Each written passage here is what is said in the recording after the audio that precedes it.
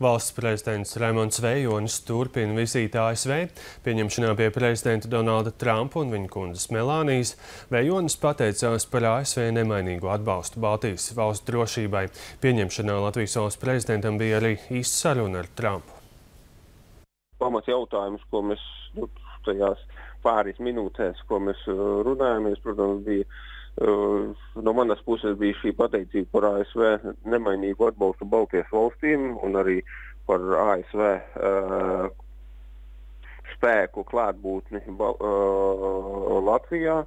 Un, protams, uh, ASV uh, prezidents atzinīgi novērtēja Latvijas aizsardzības budžeta pieaugumu, to, ka nākamā gadā mums būs jau 2%, un to minēja kā labo piemēru, kā citām valstīm ir jāmācās. Jā. Bet nu, šeit es domāju, kopumā Baltijas valstis vairāk, jā. ne, ne Latviju tā īpaši izdalot, jā, bet uh, Baltijas valstis kā labais piemērs pārējiem, ka 2% tā ir sasniedzama robeža.